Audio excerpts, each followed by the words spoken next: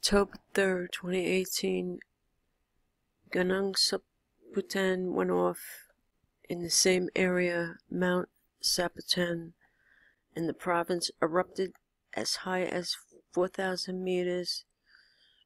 The column of ash with intense pressure observed gray to brown with the intensity of thick leaning toward the west-northwest just hours after an exclusion zone around the volcano was put in place, it appears to have blown its top again. The president gave directions so that patients who were treated were immediately taken to Makassar to be handled intensively. Pray for Palu. The president gave directions. Here they are people being treated. Oh, this is terrible. Oh my god. Definitely was a tsunami.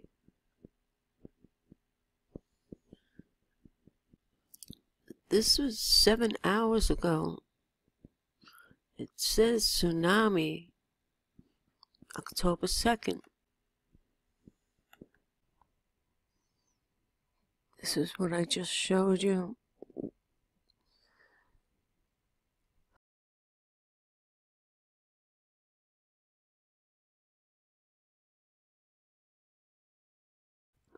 I live near it. It's just normal activity for us. It looks like an animal head.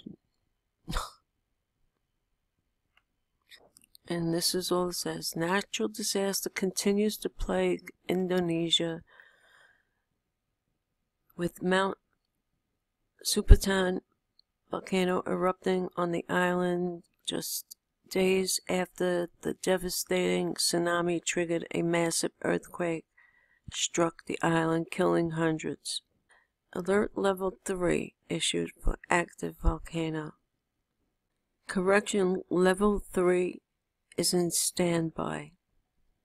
Is Etna going off.